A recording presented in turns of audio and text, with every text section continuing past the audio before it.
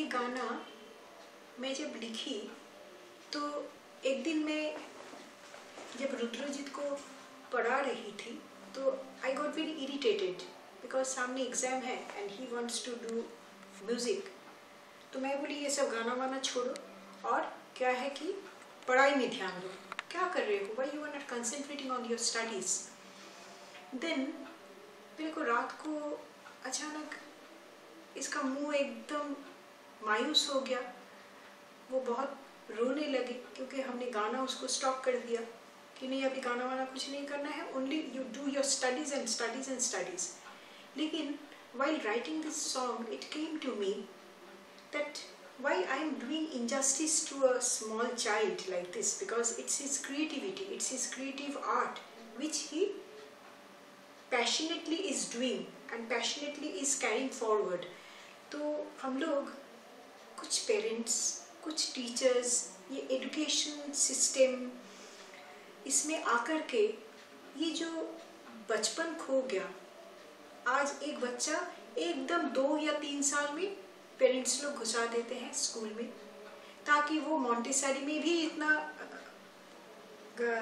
lots of books they are carrying and at the end of the day when they are coming they are not doing anything only with the mobile they are sitting parents भी सोचते हैं हाँ हमारे बच्चे बहुत खुश है, mobile दे दो, गेम्स खेलते हैं खाते खाते भी लोग गेम्स देखते हैं।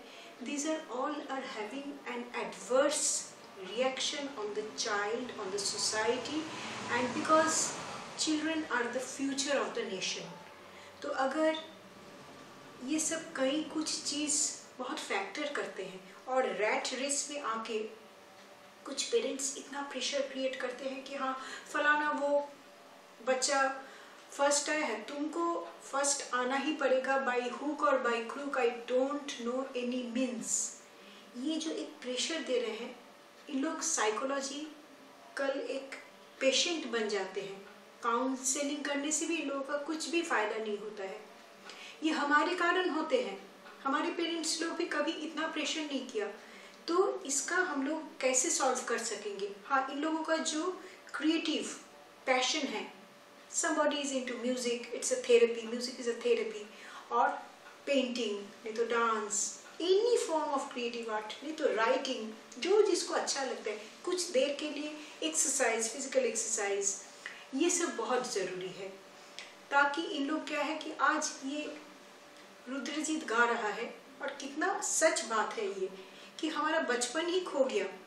ये टेस्ट में obviously test is also important but in spite of that why we are pressurising them हम लोग प्रेशराइज नहीं करना चाहिए।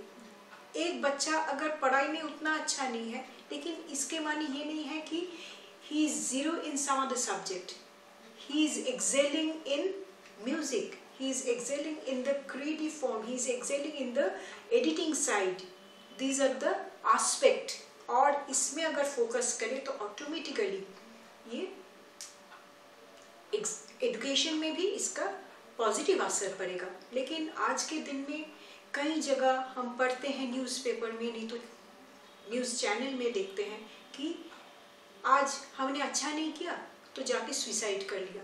This is not the end of it ये बढ़ता ही जाएगा। ये डिप्रेशन क्रिएट करते हैं इतना प्रेशर करके डिप्रेशन क्रिएट करते हैं। तो हमारा एक जो सोशल